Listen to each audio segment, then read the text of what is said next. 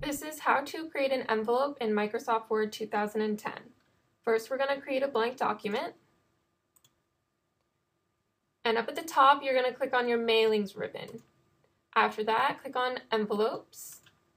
This will open up a new window. So we're going to enter delivery address. I'm just going to make one up. If you don't already have a default return address, you're going to add one here. Now we can play with our options. So click on the options button and the default should show up as envelope options. You can change the envelope size. So right now I have it on letter. I can change it to legal. You can change it to anything you want really. You can change the font or the font size, bold, italic, smaller, bigger. So I'm just going to change it to agency. Click OK. Change the return address font to match. We want it to match.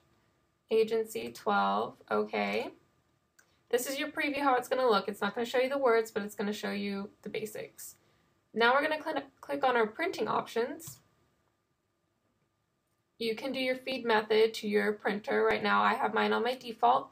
You can do face up or face down. And that's pretty much it. So we're going to press OK. And the last thing we're going to do is add to your document if you don't want to print right away. So there we have it. And that's all you need to do. Make sure you save.